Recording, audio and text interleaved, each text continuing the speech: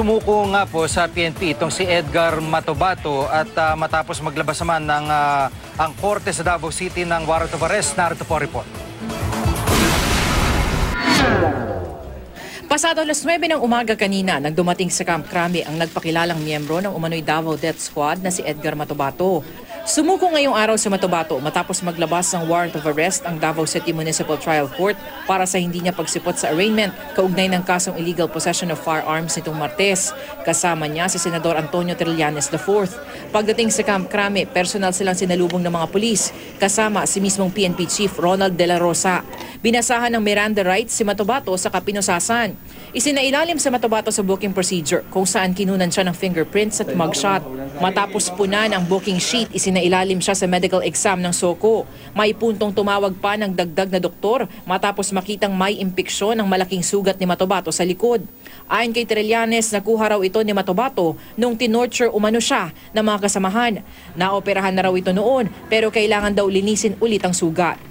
Tiniyak naman ni De La Rosa na magiging ligtas si Matobato sa pangangalaga ng PNP CIDG. we will do our best and uh, siguruhin namin talaga na safe yung uh, uh, witness na turn over sa atin ni Senator Trillanes.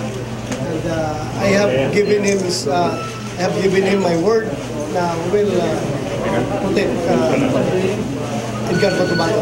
Tiniyak din ng hepe ng PNP na wala siyang hinanakit kay Matobato sa kabila ng mga inilahad nito laban sa ilang pulis sa Senate hearing sa umano'y extrajudicial killings.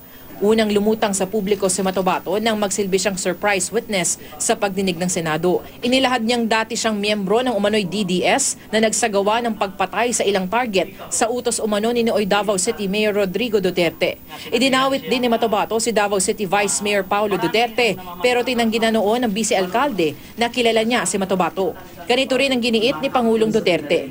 Naniniwala naman si Trillanes na tutuparin ni De La Rosa ang kanyang pangakong sisiguruhing ligtas si Matobato. Sa kabila nito, kwene-question pa rin ni Trillanes ang timing ng paglalabas ng arrest warrant. all of a sudden, nag-set sila ng arraignment nung may hearing ang ah, Senado.